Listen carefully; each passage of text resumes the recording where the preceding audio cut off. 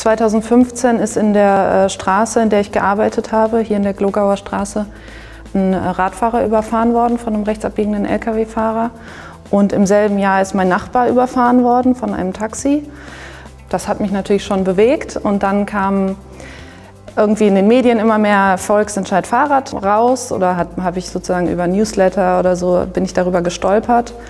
Und dann habe ich erst gedacht, ähm, wollte erst dem Spendenaufruf folgen und dann habe ich aber gedacht, ich habe eigentlich gar kein Geld, aber ich habe Zeit. Ich kann meine Zeit investieren und ja, und irgendwie ist so das Thema Tod für mich kein abschreckendes in dem Sinne, sondern es ist für mich irgendwie existenziell wichtig offensichtlich. Und ja, ich kann einfach nicht akzeptieren, dass Menschen, die einfach nur sich im Straßenraum bewegen, getötet werden. Und deswegen ist das für mich ein ähm, wichtiges Thema. Ja, also mich treibt einfach ganz stark die Motivation an, dass ich möchte, dass es sicherer wird für die schwachen äh, aktiven VerkehrsteilnehmerInnen, also die Fußgänger und RadfahrerInnen. Und ja, dass sich meine Kinder sicher bewegen können im Straßenraum. Und ähm, ja, nachdem sozusagen in meinem Umfeld auch mehrere Menschen getötet wurden, ist das irgendwie näher an mich rangekommen und die Vision Zero dabei, also die spielt für mich eine große Rolle, dass es eben Infrastruktur so geplant sein müsste, dass eben keine Menschen schwer verletzt oder getötet werden, sondern dass wir Menschen sind, dass wir auch mal einen Fehler machen und ähm, deswegen trotzdem aber uns sicher bewegen sollen dürfen. Die ersten Mahnwachen, äh, bei denen ich war, 2016, so im Winter, ähm, die haben sich irgendwie eingebrannt, weil wir da eben mit kleinen Gruppen auf eisigen Asphaltstraßen saßen und irgendwie die Kälte so von unten hochkam. Das ist mir irgendwie sehr präsent geblieben.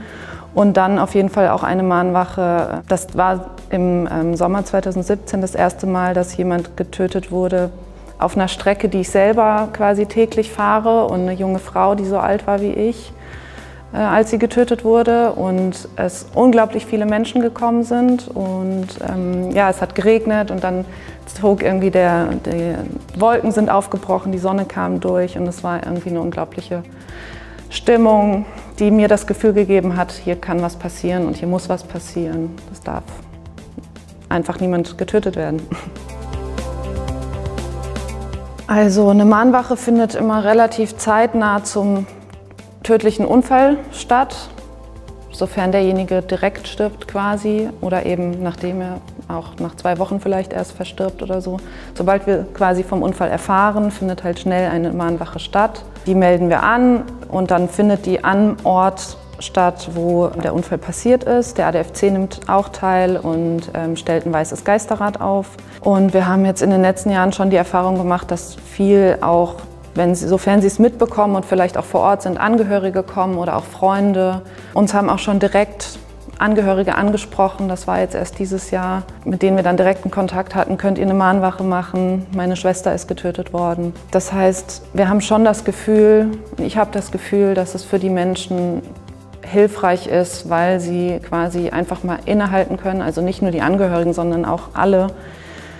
Wenn dann in Spandau zum Beispiel war letztes Jahr auch eine große Mahnwache und die komplette Kreuzung am ähm, Bahnhof Spandau stand still und es war wirklich eine Ruhe ist mal eingekehrt und man ist irgendwie mal in sich gegangen und hat mal dem Ganzen mehr Raum gegeben und es ist nicht einfach nur wieder irgendein Schicksal, irgendeine kleine Meldung, sondern ähm, da ist jemand gestorben, der jetzt fehlt und ähm, ja. Ich wünsche mir, dass viel mehr Infrastruktur auf der Straße ankommt, ähm, dass es mehr sichere Radwege gibt, dass sich irgendwie auch in den Köpfen ein bisschen was noch weiter verändert, äh, dass die Stadt eben für die Menschen da ist und nicht für die Autos. Also ich wünsche mir konkret was auf der Straße, dass man mal ein paar Kilometer am Stück sicher fahren kann.